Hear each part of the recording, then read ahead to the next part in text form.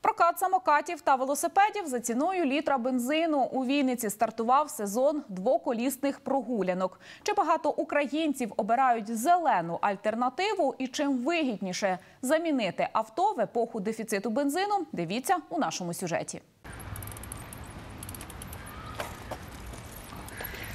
Вінничанка Іванка проміняла автомобіль на велосипед. Каже, набридло стояти годинні черги, аби заправити 20 літрів палива. Тому дістала із комори свого двохколісного. В першу чергу можу виділити таку перевагу, як це те, що я економлю час. Якщо раніше потрібно було вистояти в черзі 3-4 години, можливо, навіть більше, знайти взагалі заправку, де можна заправитись. А зараз, в принципі, це максимально зручно. Велосипеди завжди є. Дівчина велосипед придбала минулого року за 6 тисяч гривень для прогулянок із друзями. На сьогодні такий байк вартує від 8 тисяч. Зізнається, стара покупка стала незамінною у теперішній час. Нині на ровері Іванна і на роботу, і по справам. Так як насправді це зручно, це корисно для фігури, і така ситуація в країні з пальним взагалі відбувається, що насправді це є максимальною перевагою зараз.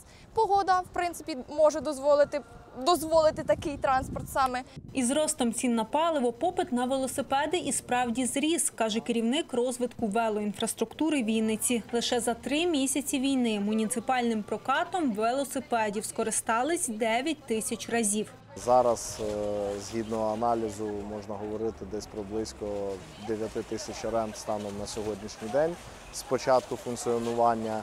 Е, Попитом користуються зараз, особливо в час, коли е, якраз необхідність альтернативного виду транспорту зростає з огляду на збільшення вартості пального. І люди частіше обирають для себе як основний вид е, транспорту якраз велосипеди. Година оренди велосипеда у місті коштує 25 гривень. 110 двохколісних розмістили на 25 станціях. Кожен охочий може взяти на прокат велобайк і пересуватись містом. Тім є й недолік. Велосипед не можна залишити будь-де. Його обов'язково треба припаркувати на одну із станцій прокату. А от кому крутити педалі не до снаги, у місті функціонує прокат електросамокатів. До прикладу, для Маргарити це чудова можливість не користуватись муніципальним транспортом. По-перше, нікого немає поряд і ніхто не притуляється. От а по-друге, не треба чекати, бо міський транспорт тебе там по-пер- по-перше, дійти до зупинки відомо. От по-друге, ще чекати, там обирати, які треба, гуглити якось дорогу, на якому можна куди доїхати. От а самокати через те, що їх зараз багато, дуже різних, то буквально там не знаю, в трьох хвилинах ходьби від дому я завжди його знаходжу.